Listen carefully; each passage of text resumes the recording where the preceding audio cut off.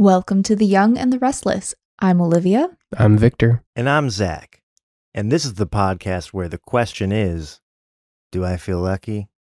Well, do ya? Punk. Now I lay me down to sleep. I dreamt I had a soul to keep. And if I die before I wake, will that dream just go on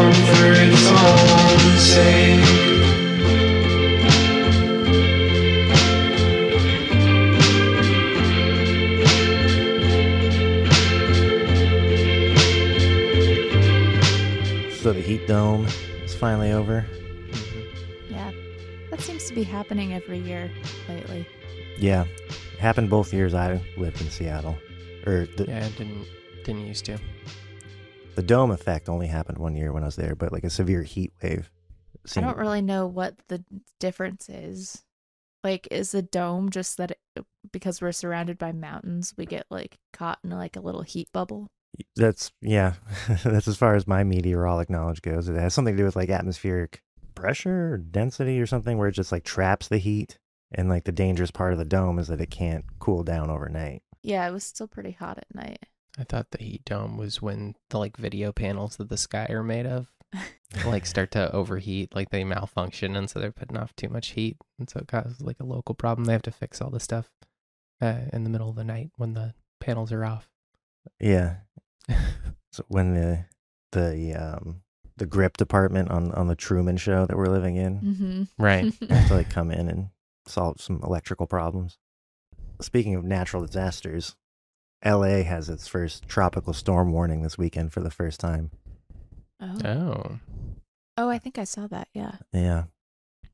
I don't think it's going to be that bad in LA, but uh but it's unprecedented the warning itself. Sunday is supposed to be uh like an inch of rain and like 10 mile per hour winds all day, which isn't insane, but uh you know, it's like the it's on the outskirts of a hurricane, Hurricane Hilary. Um and it's Didn't possible. we already have a Hurricane Hillary? yeah, I voted for her. Same. Yeah, but if it does, if it ends up being worse than that, if it worse than projected, and we get like a full on blast, then this will be an interesting historical recording. I think it's funny to imagine that uh that like the studios are behind it somehow. They're trying to break the strike. They're they're finally using their weather machine. I saw they were like cutting down trees so that people didn't have shade. Like people on strike didn't have any shade on the sidewalk. I was like, no, we're just uh we're doing our yearly maintenance. Trimming the palm trees. yeah. God, that sucks. Yeah. Yeah. And it's such a, a spread of people out there too that are being affected by the strikes. It's it's cool when you see like super famous rich people out there because it's like pure solidarity. You know, you know they'll they'll be fine for a long time if they a lot of them if they never work again. But a lot of the people out there, you know, like I, I imagine it's it's would be a great feeling just to break into writing professionally, but to but they are they're they're like grossly underpaid. The majority of the people doing the work. it's just been interesting. Like the actual numbers are starting to come out a little bit because people are being really candid about like the state of the industry, and it's it's wild. Like uh, like I think it was the actors, like how like eighty percent of them don't break thirty k a year or Mhm. something, and so they don't qualify for health insurance. And it's like, but but like the industry relies on those people. Like they need Oh, those yeah. people working, you know. But it's just like you have this whole with writing and acting, you have like this whole class of people that have to just like, you know, barely survive and and only like a small number of people trickle up to actually be successful. Yeah, I also heard that they they like create jobs to justify underpaying people like like they'll hire writers to be in a writer's room and to do the exact job of the writers, but they'll hire them as writers assistants or Yeah. something. Mm-hmm. And then they'll just make them do the exact thing and pay them like half as much. Yeah. Yeah. Most like most bottom level positions in the industry in any department, whether it's writing or production or lighting or art or, or anything, it's uh the bottom rung is the assistant, the PA, the production assistant, and it's a unlivable wage unless you have like some kind of privilege, which is something I think Dan Harmon said it on Harmontown that uh, entertainment is an industry where you have to be insanely privileged just to be like a slave. Yeah. Yeah, that's the thing. I mean, it works kind of similar to like how internship stuff works a lot of the time. It's like what you have to have money and support to be able to do the unpaid internship. And so it's like it's a class marker. I re- I remember reading something a while back about how like like how college degrees have become really devalued over like the last generation or so. And part of that is because college degrees used to be a class marker. And it's like this was a proxy to signal your class or signal your status without actually like saying the thing or whatever. It's like, oh, if this person bothered to get a degree or bothered to get like a higher ed degree or whatever, that it was uh that like they had support, they were the right kind of people, you know? Mm. uh, and so they would get the right kinds of jobs. But that it then it then there was the push for everyone can get a degree, everyone should go out and get a degree. It no longer became a valuable class marker, and so now it's like not nearly as useful as it would have been, you know. And now it's all the it's the you just look for the thing where well you can only do that if you already have money. That's the thing that's going to be used to decide who gets the prestigious whatever. Yeah, but in that push for like everyone to get a degree, like the majority of us had to take out loans. So that Yeah. so the devaluing of the degree was a real kick in the dick. Yeah, it really was. it was like at the same time that there was this big push of like anyone can and should go to college. Everyone should go to college. It was also like uh the the cost of it was growing exponentially and they're just writing like these bullshit loans the way that like they did for like housing and the housing crisis or whatever. It's like it's, it, it's just a scam. This whole fucking country is a scam. It really is. My um, degree doesn't exist anymore. Like the what what do you have? Uh, I have a degree, a BFA in film production from CU Boulder. CU Boulder. The joke about it at the time was as America's most private public school Hmm. because it's not a private school, but only three percent of its funding came from the government. Hmm. Um, but anyway, like the year after I left, they like got rid of all the film projectors and all the film cameras and stopped teaching film, and it became the department of like like moving moving images arts or something like that. Mm. So if you Google my program that I graduated from, it's not around. It became like immediately obsolete. you were taking your last final and they were sitting there tapping their watch like you gotta get out of here we got like the movers coming to like clear all this out as yeah, soon as you're gone I should. I I think it was like sophomore, junior year when like Kodak went out of business. I was like, this isn't a good sign, but sunken cost fallacy. Better follow through. And it was such an art school too. Like, like we we made we made film, you know, like on celluloid, edited on Steinbecks, which is something no, even at the time, nobody was doing it. what is a steinbeck It's a giant. I, dude, you know Olivia? Yeah. you I film was just school. struggling to make a joke about the guy that wrote like the, The pearl Grapes or of Wrath. but I couldn't get there. Yeah, you, you know that kind of thing was like a novelty thing. Like it, I also have a mm. BFA in film, but we didn't really mess with m- much of like the obsolete analog technology, right. except for like just the novelty of it. But it like it is fun. It's like a, it's a totally different thing, and and you get you get a very particular look that you can't really quite recreate exactly the same with working in digital. Someone gonna explain what it is, or am I gonna be left to wonder? It's a big machine that you sit at, sort of like a light table. Like the cutting machine Yeah, and you put your like you the film strip goes over this like panel of light and and you look through uh goggles that look down at it like a microscope kind of so that you see the image in each frame and then phys- physically with scissors cut the film Ah, and then okay. and then Glue it together. yeah, it was like a tape kind of okay. like a real tape Yeah. uh, and you would be constantly doing math because you know now you just you go into premiere pro and you make a cut in your film and you play it back and you're like fuck that wasn't right and you rewind and try again control z try again but back then you were you were doing back then like I was an editor on fucking the first Star Wars. This was 2000 fucking 12. No one else was doing this. We were the only 20 people on the planet doing this. Uh at least for a degree.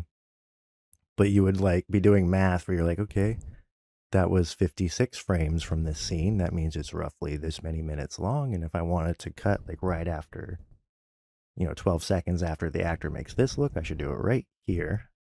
And then you would You know- like, you would tape it up and then go put it on a projector and watch it and be like, fuck. Was is that like your one shot at it? Like once you've cut it, You could you're like, fucked. you could go and Frankenstein it again, but you know, Not too many times. Yeah. Oh, yeah. you know what's funny to me though is when like old people get mad about things being easier now. yeah. like the people who got mad that they had to pay their student loans when other people like don't you want people to not have to do that? it's like Yeah, and that was back when like my great uncle talks about that. How he paid off his student loans work while he was in college working at McDonald's and it was like, well yeah, that was four thousand dollars total. yeah, dude. Different thing. My favorite is when people I've heard this a few times. People referring to like backup cameras and cars as cheating. Yeah. And I'm like, like that's a safety feature. if the game is don't run over a ch- child, then I'll fucking cheat all day. Uh, that just reminded me that lately I've seen several people, old people, in cars when I'm driving, holding on for dear life to that little like handle Yeah. that's like in the passenger seat. it's infuriating. Yeah, The oh, the oh shit handle, as my buddy calls it. yeah, Yeah, like so so me and Olivia were talking about this cuz it's at like she's like, "Oh, that's kind of annoying." And I was like, "I I hate it. Pisses me off so much." And then we were we were like looking looking into it. I thought like maybe it's like an archaic uh like safety feature from like before there was seat belts and they've just left them in or something. It's for hanging It's like clothes, when you're- isn't it? When uh, no, it's not. It's not specifically for hang. clo- It's I guess to help pull you out of the car. Like you can Oh. grab onto it to help like lift yourself out of the car. Never but you're seen kind of giving people the benefit of the doubt and being like, oh, like maybe they're holding on to it because back in their day that was what you had to do. Yeah, but, no, they're just assholes telling you your driving is bad. it's the most passive aggressive thing in the world. I mean, I hold on to that, but that, but I'm like, it doesn't matter how you're driving. I'm just nervous in cars. So why do you hold on to it though? What is it gonna do for you if you Nothing. get into a wreck? I have anxiety. It's comforting. It's like a stress ball. oh no, Zach is one of those people. oh man. I don't do it to be a dick. Do it unconscious. You It's like asshole. it's like biting. It's like biting your nails. Yeah. There's like a, there's like a brand of of elderly person that will do it to be like, "Oh, you're going too fast." And I I don't care Yeah. for that. No, I, uh, I understand that. Yeah, when I was learning to drive, I don't know how it is in other places, but in the state of Maine, your first like however many months that you have your permit, you have to have somebody in the passenger seat with you. Right, yeah. And uh, whenever it was my dad, if I approached a stop sign too quick, he would like put a hand and foot on the dashboard. And I'd be like, dude, I'm gonna See, stop. that's what I'm talking about. yeah, so I understand the like the theatrics that it, I understand that being annoying. That that did uh, uh, piss me off. Oh man, I, I might just- actually be grabbing onto that thing when we've got a teenager driving the car, though. Mm. Like, I think back to when I was learning to drive and like well into my early 20s. I think it's just a brain development thing. Like, I was like speeding and like like getting into fender benders for a while. Like, it takes a while to like actually learn how to be a good driver. Like, I've not I can't remember the last time I had like any kind of problem. But like for a while there into my early 20s, I was like not a good driver. yeah, I remember the first time I merged onto the highway. I thought I was gonna shit my pants. It was so terrifying. And then like a couple of years later, my cousin and I had a game where because this was before like GPS. I mean, GPS existed, but n- neither of us had like a Garmin, and we didn't have smartphones. so if we were going somewhere and one person knew the way, but the other person didn't, so they had to follow that person, we had a a game where the person leading the way would try to lose the other one. And so it turned into like a, a police chase on the highway where we were just driving like, we were like 19 year old idiots just driving in the shoulder and stuff, like just acting like it was bad boys too. So yeah, teenagers are idiots. I was trying to be safe. I was trying to be a safe driver and I was crashing my car. Yeah. I mean, I've come full circle. I'm back to shitting my pants, merging on the highway. Yeah.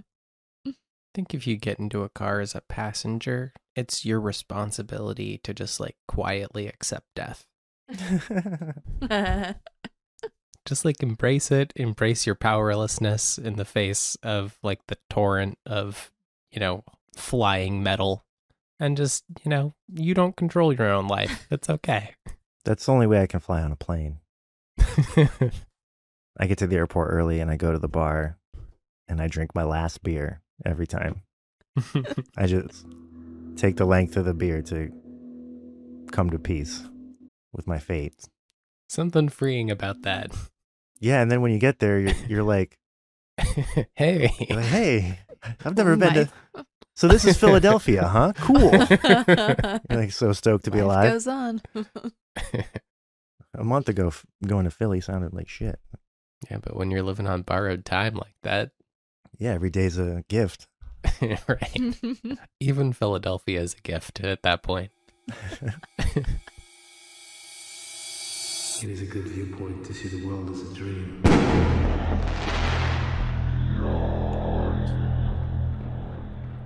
so, guess who suddenly started dreaming again? Oh, do we have a Victor dream? Victor Yeah. just was having dreams. He's just A been couple having days. them. They uh, not the last two nights, but they're like yeah, there were like three days where I was dreaming. Do you have one you want to get Uh, into? Uh, yeah, I, I wrote one down, and so we can. Oh, can- sweet. Because if you didn't have one, I feel like it was my turn, and mine was pretty weak. Well, we might still Have time. might still dip our toe in, into that. We could Okay. also do my sexy Eeyore dream. Well, Having a lot of those. those Just the specifically. one. Um, No, I have been having a lot of milk horror dreams. that was my nickname in high school, by the way. Nicor, no. M- Milkor. I Se- mean, No, sexy, sexy Eeyore. oh, sexy Eeyore. I don't know No, where Nick Horror came from. Nick Horror. that was my wrestling name. My porn name was HP Love Shaft. Okay. I really don't remember this dream at all, but I have it written down, so it's going to come back to me as I'm reading it to you guys. but, so, dreamt I was with Olivia. I was driving and we were leaving a parking garage. I scraped several cars trying to leave, uh, and I tried to just keep going, but I get stopped by like a vague barrier at the exit. Like, I remember I was like, I like hit a car, like scraped a car coming out of my parking spot, and I was trying to get out, and I there was like a couple of cars, and it was like it would it was getting like more and more narrow, approaching the exit, and I like scraped a car trying to get to the exit, and then by the time I got to where I could leave, there was like something something blocking me. Um, and then a guy walked up to my car and says I hit his car and asked for my insurance and I start trying to stall. uh, and then he asks for my phone number. Uh, and I take the little piece of paper and a pen and I try and write my number down, but I can't write on the paper or like I can't write my number down. And so this ends with all of us going to my grandmother's house and she isn't there. Um, and so it's like two people that are with me and Olivia. It's the guy, it's like they were both in the car, I guess. Um, so we all go to my grandmother's house, which is the house I grew up in. And one of the guys was friendly, and uh, the other guy was kind of angry and mean. Uh, and they were waiting as I tried to write down my phone number. We were sitting in the dining room. Um, and this has happened to me before in dreams where I'm like trying to do something over and over again and I can't get it right. It's like it was all wobbly because it was a dream. And so it was like I kept just trying to write my phone number over and over again on a piece of paper. And it's like I would write it and I would write the wrong digits or I would like get it mixed up or whatever. I just kept trying over and over again. And it did vaguely feel like a hostage situation, but they just wanted my phone number. And then I think uh, the mean guy escorted Olivia to the bathroom on the other side of the house. And then I heard a struggle, like maybe the guy hit her. And so I ran over and attacked the guy and like smashed his face into glass and like attacked this guy. And so it was like a it was like we were fighting our way out now. And so we return to the dining room and the nice guy's seen what happens and he goes for his gun and I run into the kitchen and I grab like a large kitchen knife. Uh, and then this guy approaches the kitchen and instead of a gun, um, he has a giant mason jar that was full of uh, peppercini peppers. uh, it was like it was like a big glass like water gun, but filled with like, but it was also like a jar of peppers.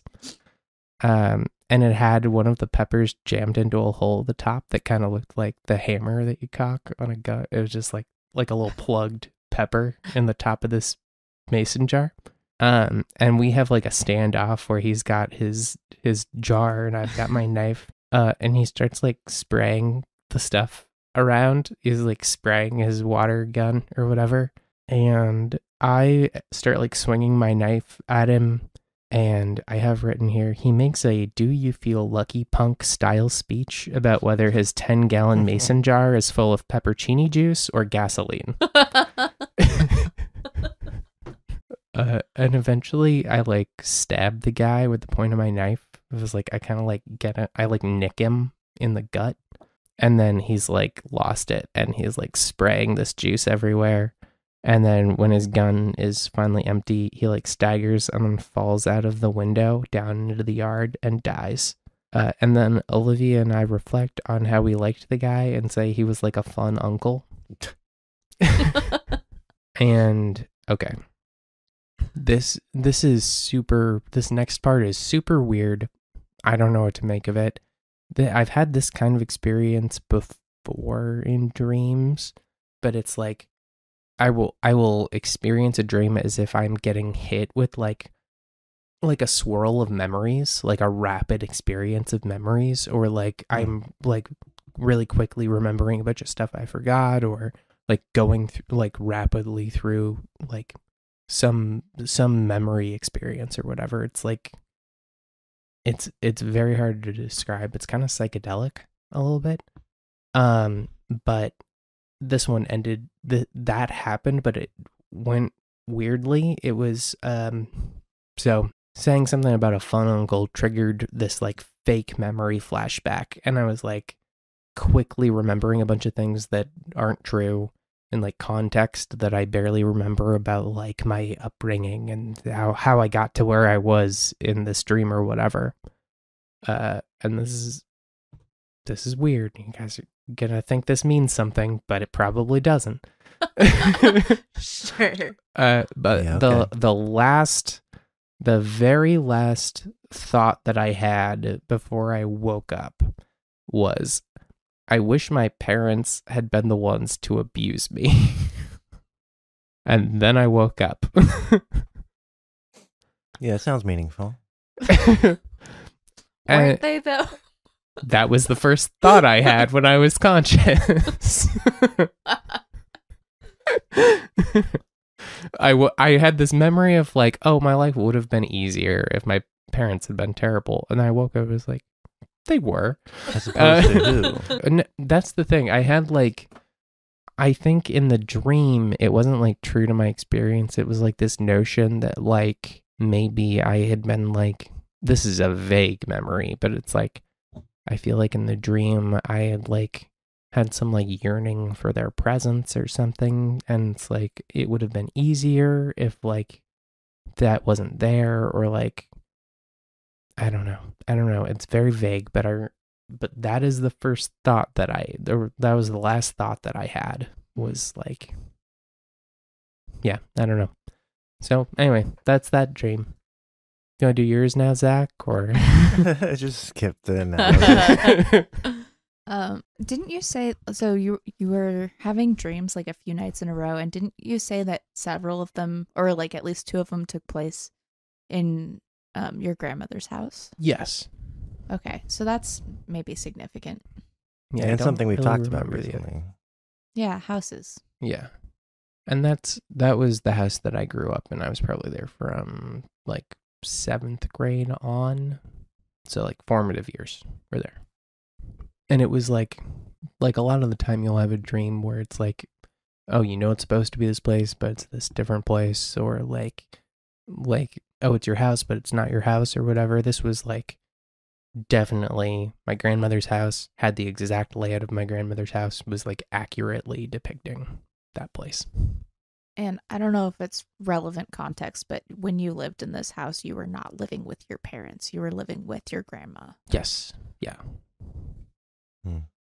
Do you want to get into like, or do you have first impressions of this dream that you, you want to start off with? Yeah, I mean I feel like the the like scraping the cars thing feels like this like dream incompetence thing that um comes up. I it felt like the same kind of thing that was like the inability to write my name or like to write my my phone number or whatever. It was like just like dreamy failure to like accomplish certain things.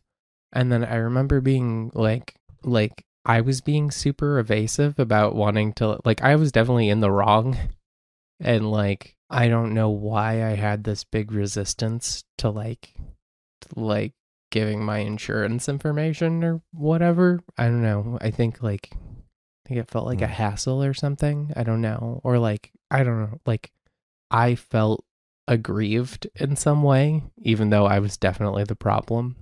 And um then like me feeling aggrieved turned into like oh these people are, you know, like holding us hostage or whatever. Yeah. Yeah. The pepperoncinis is interesting because, like, correct me if I'm wrong, but I, I don't think you like those, do you? I don't know if I've ever tried one. You're not like a pickled guy. Yeah, not really. Oh, I love pepperoni. Yeah, I like them too. I'll drink the juice. Mm. yeah, it's not really not my thing. Um and I remember thinking it was funny when I woke up and wanting to write it down. Like I was like, "Oh, this will be fun to tell on the podcast." Was it pepperoni juice or gasoline? I think it was pepperoni juice. Yeah, yeah, I think he so, too. never sprayed it though. No, he was spraying it all over the place. Oh, I missed that part. But I I don't remember getting like hit by anything. Do you remember the other dream that took place in your grandma's house? Uh, Not even a little bit. Dang. Yeah. I was I trying to can't remember. find something on Dream Bible, uh, like adjacent to the car thing, Mm. but they really only have an entry for like accident, like like a car accident. But the side swiping of the vehicles is so much more specific than that to me. You know, like a car accident feels like much more dramatic and uh, scary, whereas like like you described this as being like like an incompetence thing, where you're like, God, I fucked up a little, and now I have to like exchange insurance information. Like it doesn't. Yeah. It feels more like shame and embarrassment based than a car accident, which might be like fear based. You know.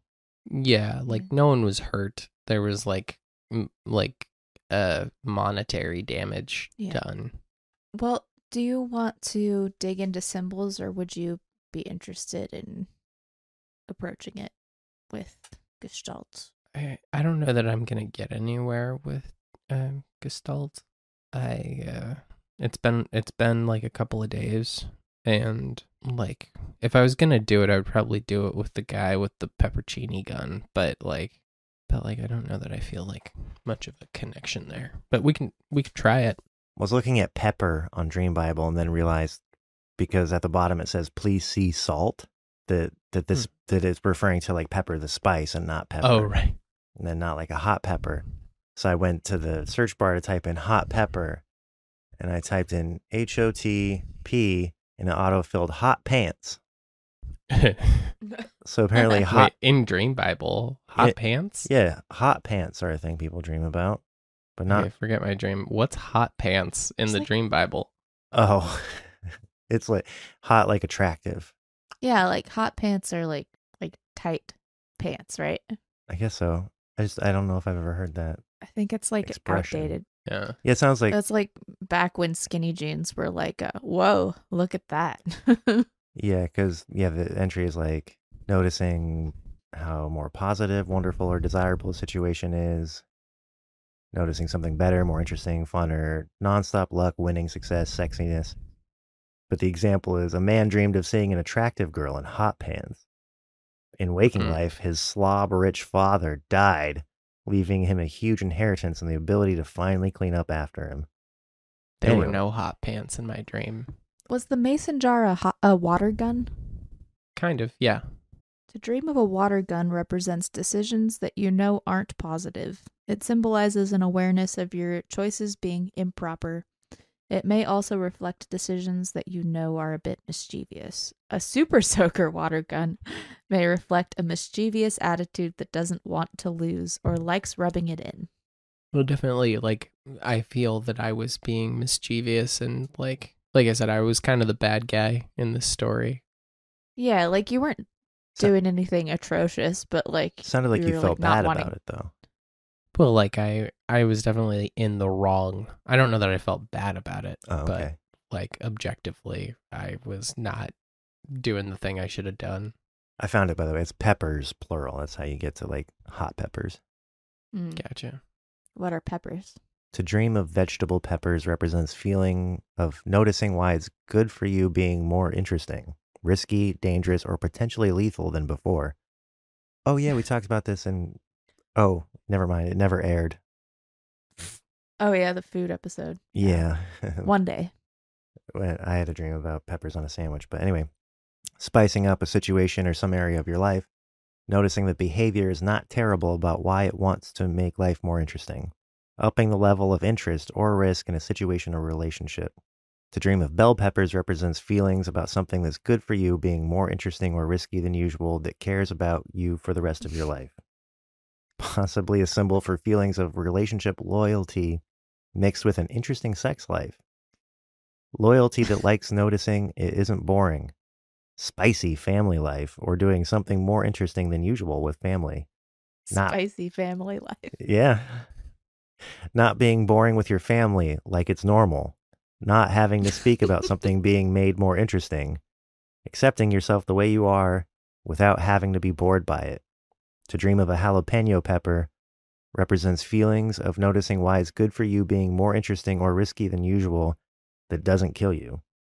Interest or risk that you don't mind having uh, just a little bit of. Feelings of something being wonderful about why it carries you through managed risk without having to be lethal. So it's like fun, spicy, risky thing, but not, but it's just that. It's fun. It's not like bad. It's kind of a whole reflection of of the pepper water gun itself, right? Like it wasn't a real gun. It wasn't even like a gun full of gasoline. It was it was full of pepper juice. So like yeah, definitely not lethal. Yeah. Conversely, Maybe ga- a little spicy. the gasoline entry is much shorter. To dream of gasoline represents emotional or psychological sustenance, something that provides the energy, resources, or motivation to move forward, a sign that your life needs to be re energized in some way. There may be a situation in your life that you are struggling to get a handle on. So, not as overtly positive, but I, I wonder if there's something there with the like, is it pepper or is it gasoline hmm. question? The gasoline thing felt like, well, like I'm gonna burn your house down, basically. is Right. it Right. is what it felt like. It felt like the the point of it was less about the gasoline and more about like the threat of this is a more dangerous weapon than it appears. But maybe it is like maybe the meaning is connected.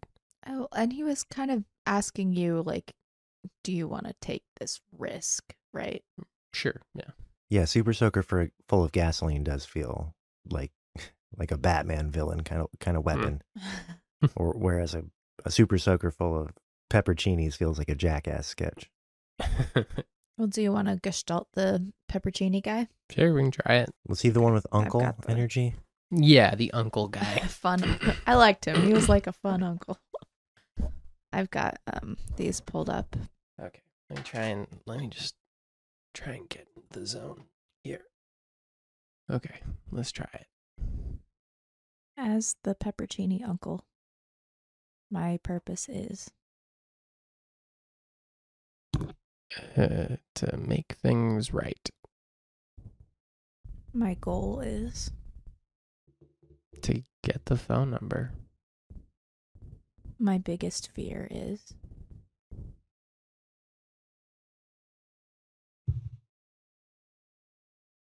Yeah, I'm not. I'm not getting anything. I'm not sure I'm making a good connection here. We'll come we can come back to it. Okay. I love, My brother I hate, got nothing. I desire, Yeah, I'm sorry. I'm just. I'm not able to get into the headspace of this character right now. Okay. Yeah. I think it's interesting. I also, when I've done the Gestalt, those two questions, I fear and I hate, sometimes really get me stuck. And I wonder, like, Yeah. I wonder what that maybe says. Like that, I, I have a hard time going there to that place Hmm. with those questions, and those are the two that got you stuck Yeah. too. I mean, it feels yeah, like but more internal, right, to a character. Like, so like purpose and goal, you can almost kind of, if you're not connecting with with this character, you can at least take a guess at purpose and goal because they're displayed through actions. Mm, that's what I feel like I'm doing right now. I don't. I don't feel like I'm like able to really like feel the character. Sure. Yeah, maybe that's not what had the most energy. I mean, That's possible. Yeah, or maybe it's just, you know, been a few days and or I'm not in the right headspace or something. it's one of those things where like we've said before about you know just cracking a dream in general it would be weird if we batted a thousand like i think it would come across like this podcast was staged or something What do Um, you think about the the other guy there? So it was this guy and his brother were there, Yeah, I think they were siblings. Oh. and did it feel like he was protecting his brother? Yeah, I think they both wanted the same thing, but I, I feel like it was the the the nice guy. It felt like his car. Like it felt like his deal. And the nice guy's the guy with the pepperoncinis, right? Yes. And the guy that like there was some struggle with you. Um I don't I think he was there to help the nice guy.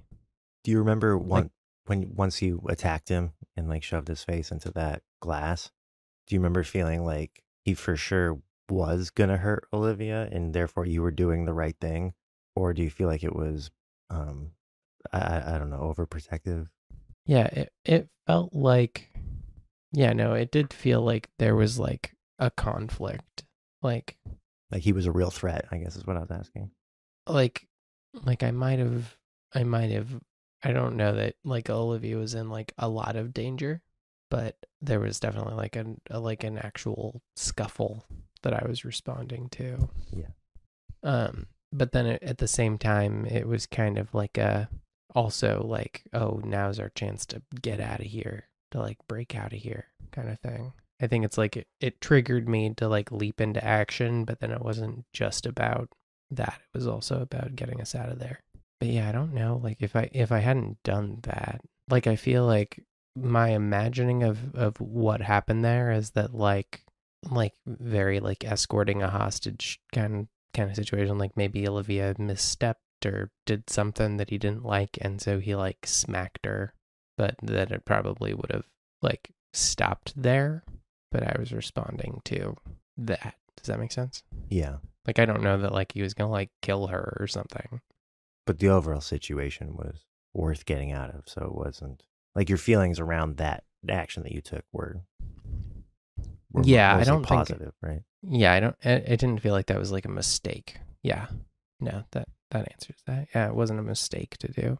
And like I acknowledge that I I consciously can see like, well, I was in the wrong, but like I didn't feel like I was doing the wrong thing during the dream. I didn't like feel like the bad guy or something. I just felt like um like I had my motives and they had their motives or whatever. It was a very morally neutral Mm. interaction on my end. No, it does sound like you guys were like a hostage. There was just like a good cop and bad cop dynamic with the the people running the scenario. I was just curious about your like, yeah, about your predominant feeling in the matter, whether it was, you know, anger, shame, like I I, I don't know. Yeah.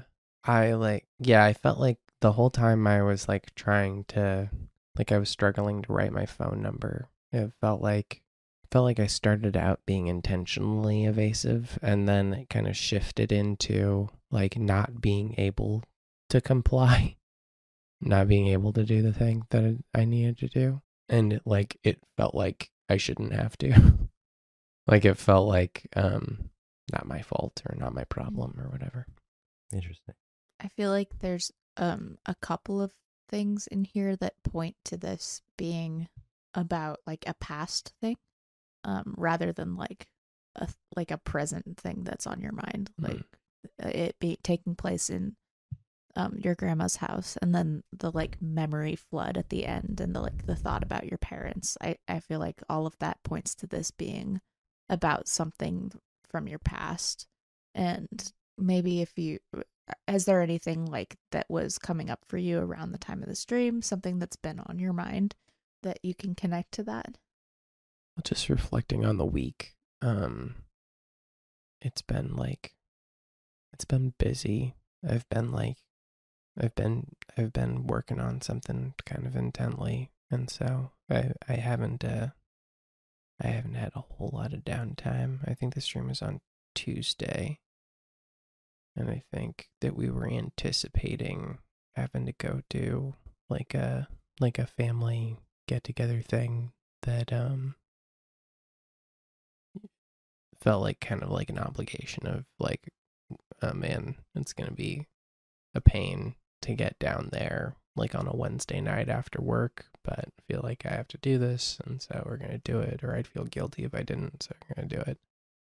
Um and then yeah yeah i don't know broadly it's just been like like a lot to worry about a lot, a lot on lot to think about and then also just like trying to or like having a hard time finding time to uh like relax you know which i think i i sound like a broken record i feel like i said that a lot but it's been it's been an emblematic week of that of like well i'd like to relax i'd like to do just i'd like to just like do nothing but I'm going to work on this stuff. And if I wasn't working on this stuff, there'd be this other stuff that I should be doing. And if I wasn't doing that other stuff, there's other stuff that I really should be doing. Um, and there's that kind of, that's kind of where I've been at this week. So, so I guess a lot of like obligation or a lot of like, um, responsibility stuff lately.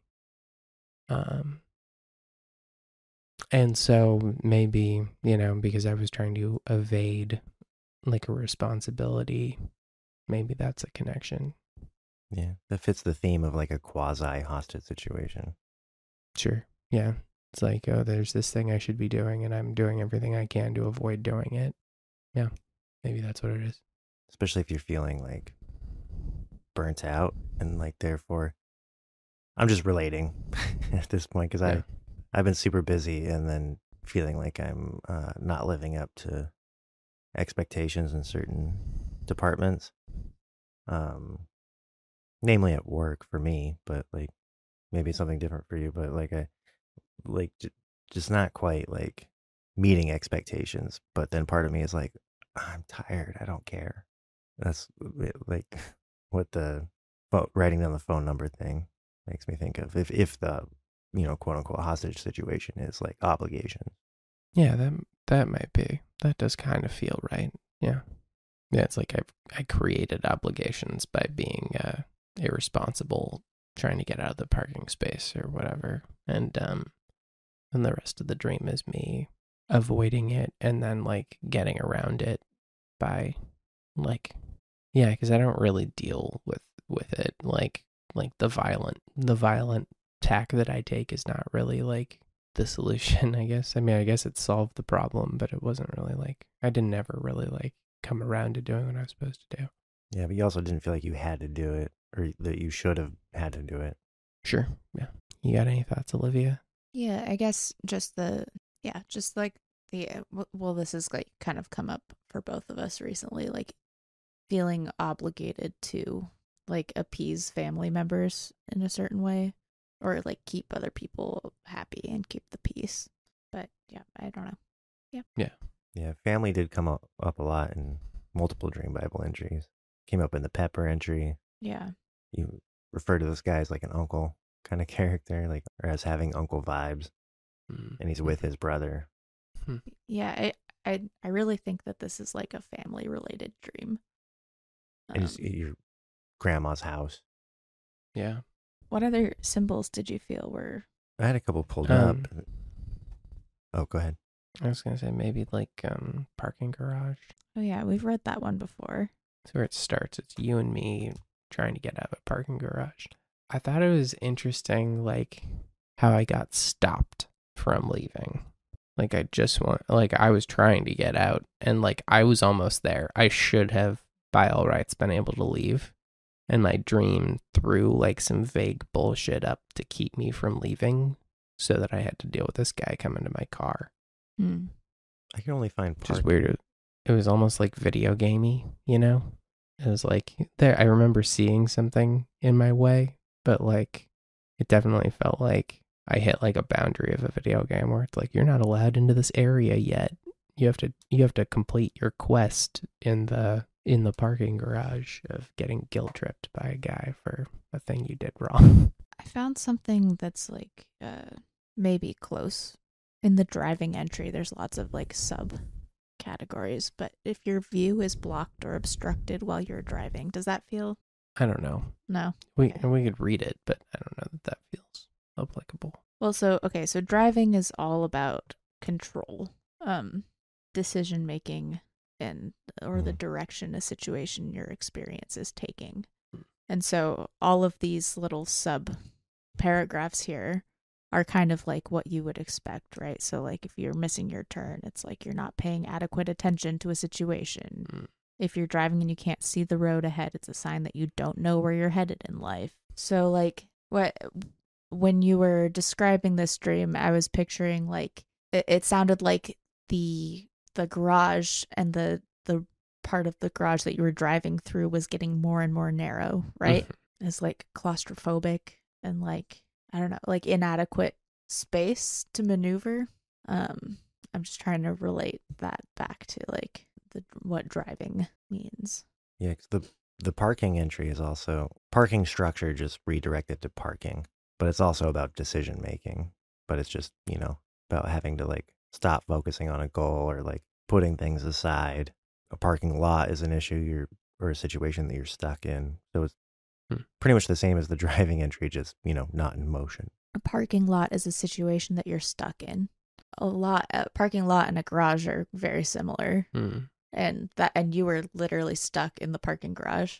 Yeah, yeah. So uh, being like uh, driving is decision making, and parking is like like maybe it just being like in your head, like no movement on stuff. Yeah, it sounds like dri- like and you were trying to drive, but you were being stopped. Yes, and then I don't remember how we got to my grandmother's house. It was just like we went we went from being in the garage to being at my grandmother's house. There's no driving there or anything.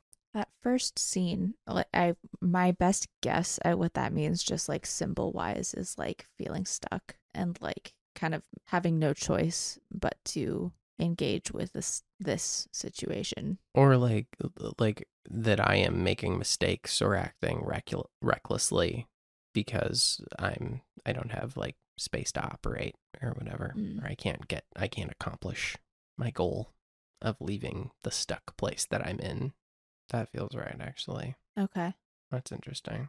Did the phone number i- in the in the the writing down of it I feel like um Sorry. what? Oh, maybe you didn't hear that. I just dropped my phone. It was very loud. Oh no, I didn't hear it at all. Um, the writing down of the phone number did that feel significant, like a symbol, or was that just like because that is what you would do in a, in a Yeah. you did like, that is what I would do. Yeah. right yeah no it's, it's like a real life mechanic So did it just feel like that, or was was that like significant? Because there's a Dream Bible entry for phone number. Oh, um, that's interesting. Well, there was a lot of, th- I mean, it was about I need to give this information to like make this right because I've I've injured this person basically. Like I I did damage, so this is how I even things out. But I spent a lot of time trying to write my phone number over and over again. So yeah, maybe there's something to phone number Um, as an entry. yeah, I mean it's real short. It, it it it feels like it ties to the other stuff, like thematically. To dream of a phone number represents what is required of you to initiate a desired experience, a resource, ability, person, or situation that you need in order to make something happen. Yeah. Yeah, no, this makes this it feels like this makes some sense if you look at it through the lens of me like if you look at it like it's a project's dream, Yeah, I was just thinking that. if it's a if it's a project's dream, then it makes a lot of sense. But I'm like still convinced that that second part is like a family dream. Yeah. Yeah, no, I mean that makes sense to me. But the Um but it, it sounds like those like at least this week have, have been like at odds kind of you know at least like Yeah. time wise like you have these projects you're working on and then these family obligations and you're starting a family of your own which is you know uh also something you want to be focused on so yeah i don't know maybe you're just like feeling super spread thin Yeah, and uh, like I just feel like I've been I've been stuck in the same place for a long time. Of like I want to get something off the ground. Like I I want to get the ball rolling with something, and I feel like if I can manage to do that, then I can then I can let that thing do its thing. I can I can like give that the appropriate amount of space and time and make more room in my life for the things that actually matter. You know, like be more present in my life and be more present like in my relationships and be more present with like this exciting thing that is happening uh, in in my family with Olivia. Um and just I am locked into this place where it's like I'm throwing myself at trying to figure out a thing that that feels like satisfying on on that level like where where like I know what I'm doing with that part of my life so that I can be more present in the other stuff. But like while I'm busy doing that I'm not as present as I need to be in everything else. And I just feel like torn you know?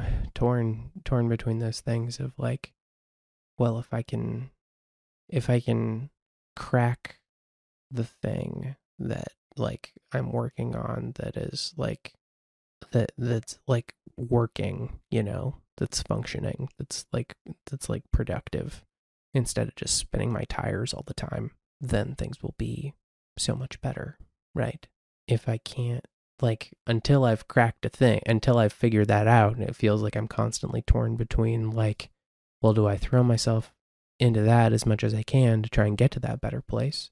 Or do I like put a pin in that or like give that less of my attention? But th- th- does that uh, so that I can like, you know, focus in more on day to day stuff? But then is that like putting me further away from the better place that I'm trying? Do you get right? Do you get what I'm saying? Like, yeah i follow you But like, and so when I get really what's sucked it into something like that, what does cracking the thing look like, Like, to you Like, you're uh, talking about like, music? I no, no, it's not. It's not artistic. Like I'm excited about the music thing happening. Like I've got I got an album release show happening next weekend. Like I'm Yeah, like that's chugging along. i wish i could be there for that We'll send you a vinyl. Um, oh yeah but now I just like I want to have some kind of like I want to have a I want to have some way to like have like a like a oh man I'm, struggling to I'm I'm I'm having a hard time even saying it cuz it's an, it feels like embarrassing to say. I want to find a way to to like make money myself disconnected from my job. Doesn't have to fully support me doesn't have to take care of everything but i want to be able to do a thing and be able to like at least partly support myself with it and have it be a thing that i'm doing that i like doing that i care about and that's never going to be music Like, yeah, I'm just, I have zero interest or inclination in trying to make money with music. It's just a thing that I do because I love it. And so I love it and it's cool. It's a fun thing to have there, but it is purely just a thing that I do for the art of it. Like, no interest in trying to make money off of that. So it's like I constantly am bouncing around. It's like, well, maybe I can do this, and that would be like a trajectory for me, or maybe I can do that, or maybe I'll come back around to this other thing that I was working on.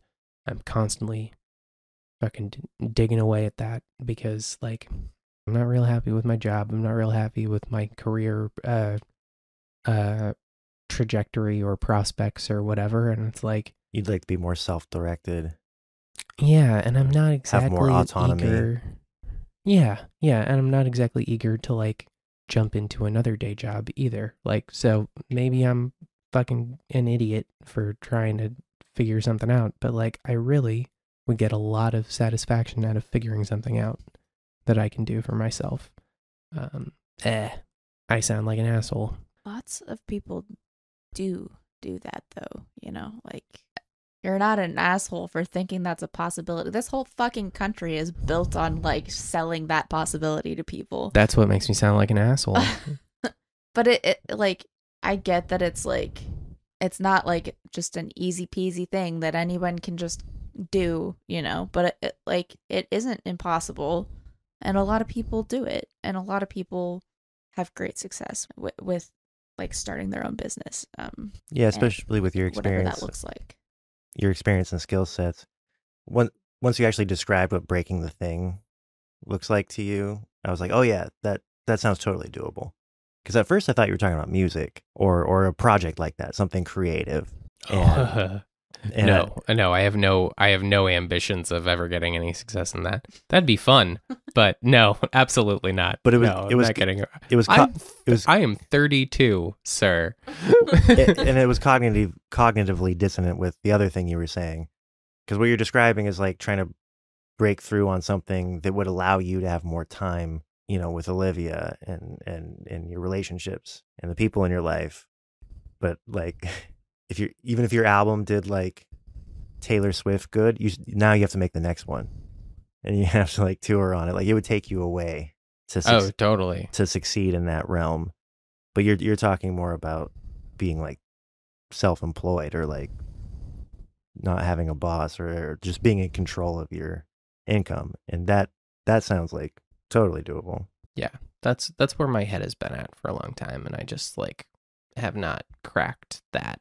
I'm partly because I'm really particular about how I approach it. I'm like a real do stuff by myself kind of person. So it's like uh, trying to find a way to to do something that I can do independently without really relying on other people is hard, you know. Yeah, Um, and maybe a fool's errand, and I've just wasted countless hours of my life trying to figure out something to do with myself. But um, I don't, I don't really know how to operate differently. I guess I don't know. I don't think it's a fool's errand. I think it's realistic, not easy. It's not like easy or simple, but it's more realistic. Yeah. Than I. But no, I don't have my my rock star ambitions ended like uh days ago. Days ago, just earlier this morning. Yeah, I was thinking about it this morning. I was like, nah, that's that's not gonna happen.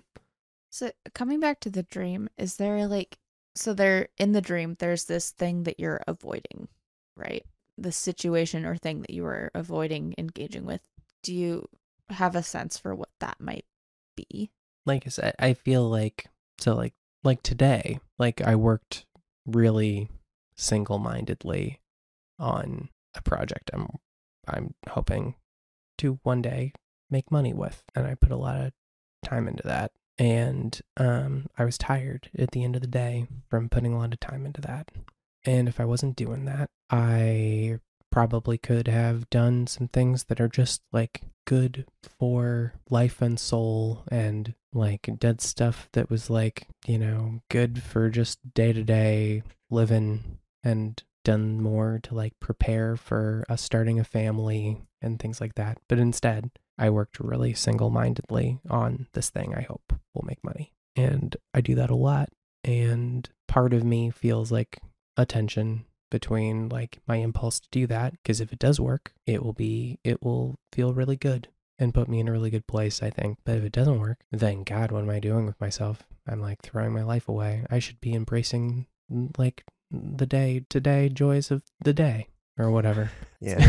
It's like this. It's like you throw yourself into pursuing like a, a way to be autonomous or, or not reliant on your day job so that you can relax Yes. and at the same time the act of throwing yourself into that is also you avoiding relaxation yes. Okay. 100% yes. so i think that's your problem Yeah. That's what you would say. because I I strongly believe that say you like cracked it that you your like thing takes off and and it's like you don't have to worry about that anymore and it's like you can chill out would you though I think I'd be a lot better. Really yeah, I do. I do think I would be a lot better. okay I know I know that's hard to believe. It but is. I do think I do think I would be a lot better than I am. i think you it's a compulsion of yours to keep your mind busy I do like having my mind busy. That's true. Um yeah i don't know if there's any way to tie this dream up but do you have any like final thoughts about it it does make some sense to me now. I think what what I'm getting out of this is I need to work even harder. I think you made fun of me on a previous episode for earnestly coming to the same conclusion about a similar dream. yeah Like mm. I had a dream about that was telling me to relax, and I, I my response was like, "So I just got to buckle down, and Like- really figure out how to get to a place where I can relax." Yeah. But you I mean you you get where I'm coming from, right? It's Oh, like yeah, for there's this sure. tension. It's like thinking that you can like dig your way through the mountain, right? And stopping is well, okay, now you're just in a mountain. It's a men- it's a it's a mental game, I guess. I it's don't a know. mental illness I don't know what, I don't know what the right way to approach it is. Ther- therapy? Oh, yes that's what i've been saying I didn't understand anything either of you just said. Are you breaking up, Zach? Are you breaking up, Olivia? in person. Shouldn't be. Ba- I mean, maybe it's the headphones. Maybe my headphones are busted. well good news for you i single-handedly met our deductible on our health insurance so you could you. get therapy for $25 a session for the rest of this year if you wanted to I don't trust them. She's done most of the work. What a lot of listeners don't know is that Victor is actually a Scientologist and uh, isn't allowed to do therapy. right. And just every time I do it, my Thetan level goes up. Isn't that right? Yeah. Thetan. And then you get Yeah. cattle prodded by Tom Cruise. Yeah, he keeps requesting me specifically. I don't know.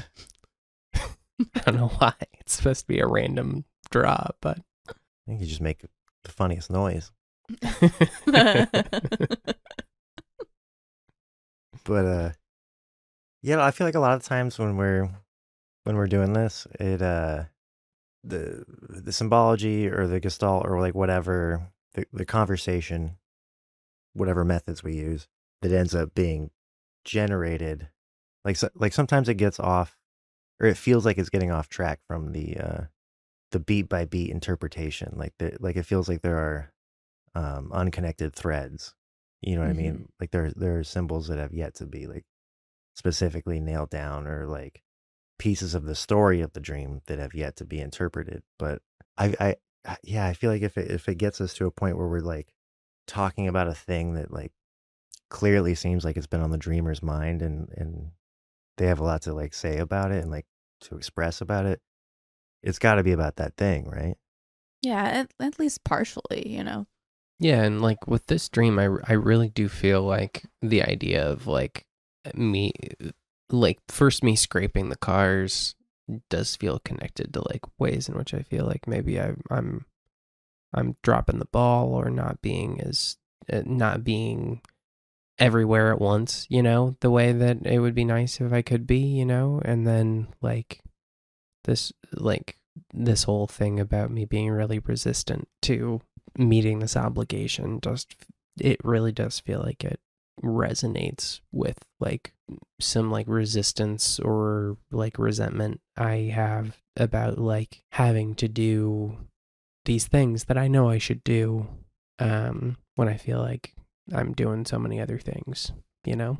That's a that's a thing that I'm like trying to work my way through into a like land in a healthy place with and it makes a lot of sense to me that I that I'd be dreaming about it. Yeah. yeah.